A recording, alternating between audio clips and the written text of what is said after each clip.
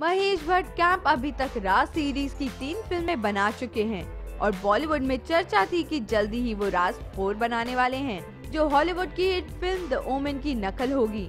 पर अब खबर है कि महेश कैंप ने राज फोर को फ़िलहाल बंद कर दिया है और अब वो नई सीरीज़ 3 एम शुरू करने वाले हैं, जिसकी शूटिंग जल्दी ही शुरू होगी और ये किसी भी हॉरर फ़िल्म की नकल नहीं होगी। फ़िल्म 3 एम के लिए रणविजय सिंह को बतौर हीरो फाइनल कर लिया गया है। और फ़िल्म के हीरोइन की तलाश जारी है।